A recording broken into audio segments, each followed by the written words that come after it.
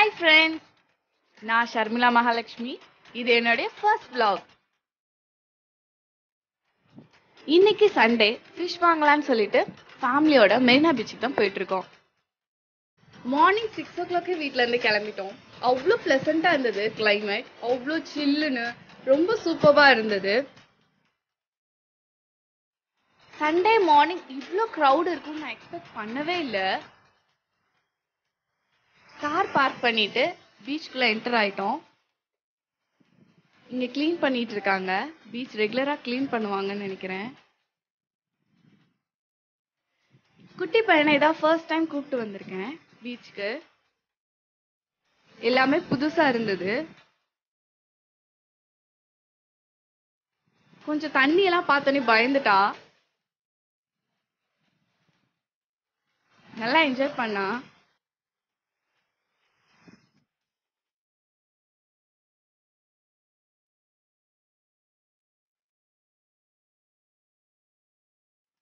அப்புறம் horse ride போனோம். இதில் பெரியவங்களுக்கு ஹண்ட்ரட் சின்னவங்களுக்கு ஃபிஃப்டீன் சார்ஜ் பண்ணுறாங்க ரொம்ப நல்லா இருந்தது.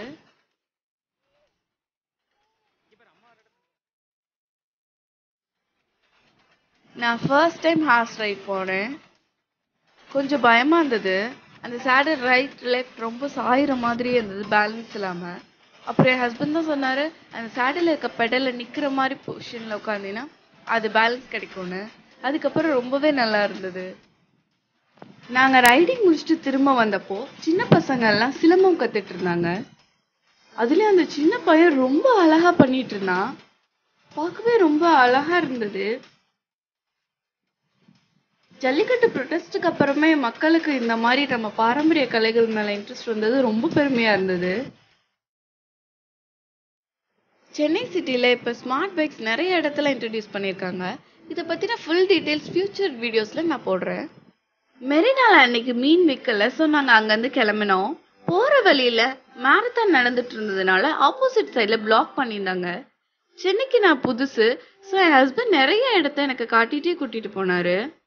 இப்போ நம்ம வந்திருக்க இடம் என் ஃபோர் இது ராயபுரத்தில் இருக்குது இது ஒரு ஃபிஷிங் ஹார்பர் இங்கே மீன்பிடி படகுகள் எல்லாம் வந்து நிற்கிற இடம் இதுதான். இந்த ரோட் கொஞ்ச தூரம் கடலுக்குள்ள போறனால இந்த வியூ ரொம்ப அழகா இருக்கும். சுத்தி கடல் தெரியும். எனக்கு இந்த வியூ ரொம்ப ரொம்ப பிடிச்சிருந்தது. இது மத்த பீச் மாதிரி கிடையாது. பெசன் நகர் பெரினா பீச் மாதிரி கிடையாது. மக்கள் அதிகமா இங்க வரதில்ல ஆனா சாட்டர்டே சண்டேஸ்ல இங்க அதிக மக்கள் கூட்டத்தை பார்க்கலாம். இப்ப நம்ம பார்த்துட்டு இருக்கிறது வந்து போட்ல ஐஸ் கட்டிகளை வந்து கிரேன் மூலமா லோட் பண்ணிட்டு இருக்காங்க இந்த போட் ஆழ்கடல்ல போய் ஒரு மாசம் ஆனாலும் மீன்களை பிடிச்சு அந்த ஐஸ் கட்டியில போட்டு எடுத்துட்டு வருவாங்க. இதுக்கு பேர் தான் ஜெட்டிஸ்ன்னு சொல்லுவாங்க. கீழே பாறைகள் இருக்கும். மேலே இந்த மாதிரி டிசைன் கற்கள் வச்சிருப்பாங்க. கடல் சீற்றமா இருக்க காலத்துல அலைகள் வந்து ஹார்பரை தாக்காம இருக்கிறதுக்காக அதாவது அதோட வேகத்தை வந்து குறைக்கிறதுக்காக இந்த இடத்துல இந்த கற்கள் வச்சிருக்காங்க. ஃபைனலா ஃபிஷிங் ஹார்பருக்குள்ள மீன் வாங்க வந்தாச்சு. இங்க மீன் வந்து ரொம்ப ஃப்ரெஷ்ஷா கிடைக்கும் பிளஸ் ரீசனபிள் பிரைஸ்லயும் கிடைக்கும்.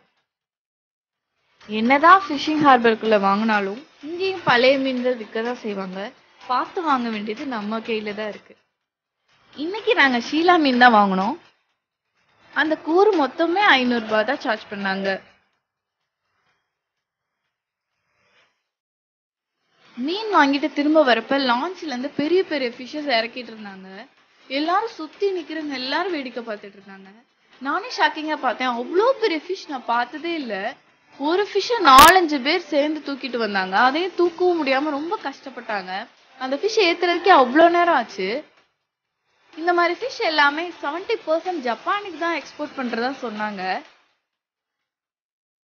இப்ப நம்ம பாக்குற மீன் பேரு மர்லின் இந்த மீன் வந்து ஜப்பான்ல ரொம்ப மோஸ்ட் ஜாஸ்தி.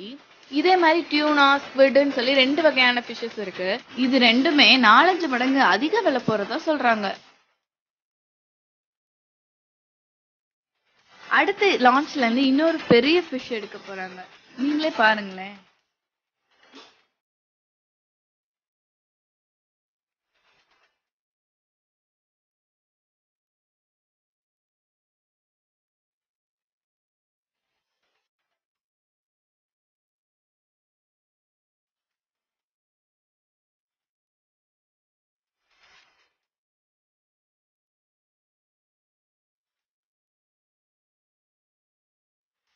இந்த ஃபிஷ் அந்த முதல்ல எடுத்ததை விட இது கொஞ்சம் கம்மியான வெயிட்டாக தான் இருக்கும்.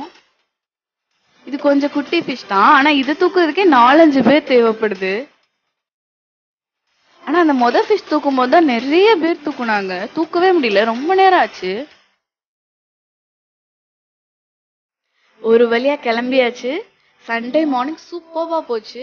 நல்லா என்ஜாய் பண்ணோம். நிறைய ஃபிஷ் வெரைட்டிஸ் பார்த்தோம். ஃபிஷ்ஷும் வாங்கியாச்சு. வீட்டுக்கு போய் அதை நல்லா பொரிச்சு சாப்பிடணும். ரொம்ப ஈகராக இருக்கேன். நம்மனால முடிஞ்ச அளவு குப்பையை குப்பை தொட்டியில் போடலாம். நம்மளால சின்ன பிள்ளைங்க கற்றுப்பாங்க அதனால அதை வீடியோவாக போடுறேன். எப்பவுமே ஹஸ்பண்ட் வெளியே போயிட்டா உள்ளேருந்து லாக் பண்ணிக்கோங்க. அப்பதான் வேற யாரும் ஆக்சஸ் பண்ண முடியாது. நீங்கள் அன்லாக் பண்ணதுக்கப்புறம் அவங்க ஹஸ்பண்ட் உள்ளே வரலாம்.